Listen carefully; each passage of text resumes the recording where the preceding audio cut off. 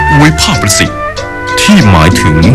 ประตูที่ประสบความสำเร็จในการแยกน้ำและจากความสำเร็จดังกล่าว เป็นผลให้เกษตรกรจำนวนหนึ่งทยอยกลับเข้าสู่พื้นที่อีกครั้ง หลังจากร้างลาถิ่นฐานบ้านเกิด ระเหเร่ร่อนไปขายแรงงานต่างถิ่นเสนา เมื่อพบว่า พื้นที่ลุ่มน้ำป่าพนังได้พลิกฟื้นคืนชีวิตอีกครั้ง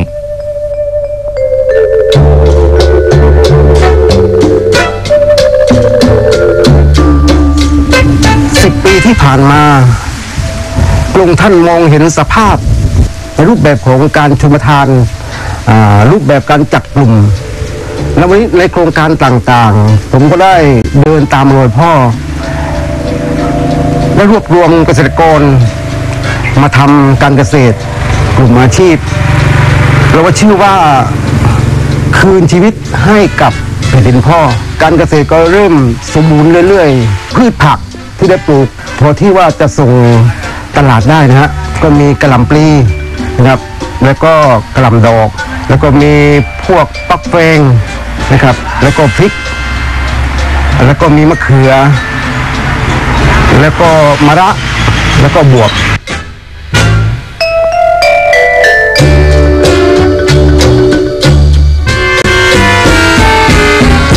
ที่สุดนี่คือเป็นปัจจัยหลัก และก็เป็นหัวใจหลักจริง ๆ นะครับ แหล่งน้ำเพื่อการเกษตร โดยโครงการพระริได้เข้ามา แล้วก็ผันแปรชีวิตจากที่อยู่แบบทำการเกษตรไม่ประสบความสำเร็จโดยเฉพาะน้ำเป็นปัจจัยหลัก โอกาสต่างๆ และก็หน่วยงานต่างๆที่เข้ามาช่วยส่งเสริม แล้วก็ผลักดันให้โครงการพ่อนะครับในเขตลุ่มน้ำต่างๆโดยเฉพาะอำเภอหัวไซนะตำบลท่าซอม ในส่วนของทรัพย์สำนักงานเขตจังหวัดนะครับที่เรารับผิดชอบ โครงการพระราชดำริในเขตลุ่มน้ำปากพนังนะครับ10อำเภอในพื้นที่ของลุ่มน้ำทั้งหมดนะครับ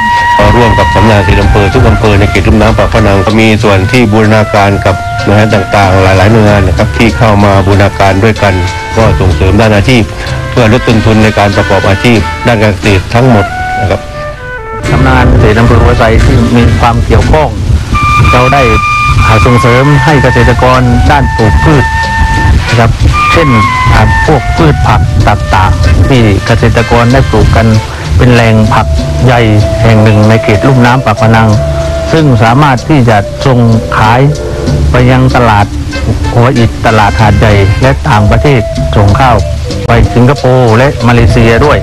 ตรงนี้ตอนนี้รู้สึกว่าเกษตรกร ของเรานะครับ มีอาชีพที่มั่นคงและเข้มแข็งขึ้น ไม่ใช่แต่ตัวเกษตรเองที่อยู่ในพื้นที่ นอกพื้นที่อยู่กรุงเทพมหานครก็เดินทางกลับเข้ามา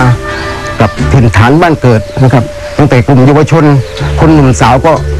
จากไปหากินอยู่ที่ข้างนอกก็กลับมาอยู่ในพื้นที่นะครับเป็นโอกาสดีที่โครงการลุ่มน้ำปากพนังได้เข้ามามีบทบาท และช่วยเกษตรกรมีฐานะที่ดีขึ้นนะครับ นี่คือส่วนหนึ่งของตัวอย่างที่ปรากฏในพื้นที่ลุ่มน้ำป่าพนัง ที่ทุกวันนี้กำลังมีการเพิ่มจำนวนของเกษตรกรที่กำลังประสบความสำเร็จมากขึ้นเป็นนับทวีเนื่องจากพื้นที่เริ่มมีความอุดมสมบูรณ์เพิ่มขึ้น และกำลังพัฒนาเข้าสู่สภาพพื้นที่ที่มีศักยภาพเชกเช่นเมื่อครั้งอดีต อีกครั้งหนึ่งทั้งนี้นับเป็นพระมหากรุณาธิคุณเป็นล้นพ้นจากพระบาทสมเด็จพระเจ้าอยู่หัว ที่มีต่อพระสงฆ์นิกรชาวไทย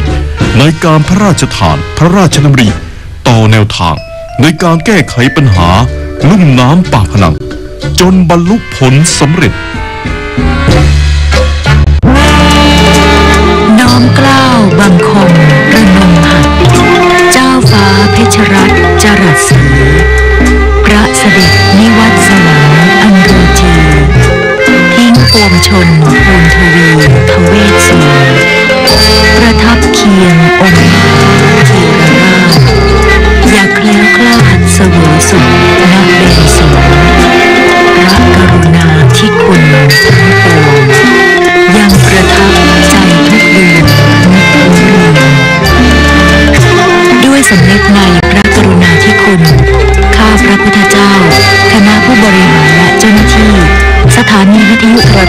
ประเทศไทย กรมประชาสัมพันธ์